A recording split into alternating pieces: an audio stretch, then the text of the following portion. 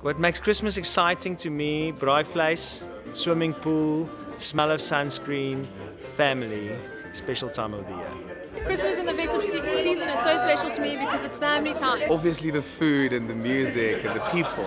It just it's just a nice vibe. I love Christmas. It's family. Uh, in our family, Christmas time is the, the one time of the year we get to get everyone together. The whole festiveness, the whole joy, everyone's getting excited, year end, getting families together, presents. Christmas is always important and a good day, you know, it's all about family in the end, you know, extended and real.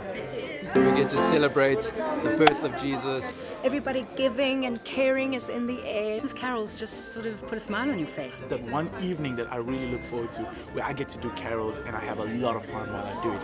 So I love the fact that people have fun, we have fun, families have fun, and um, and, and yeah, that's what it's about.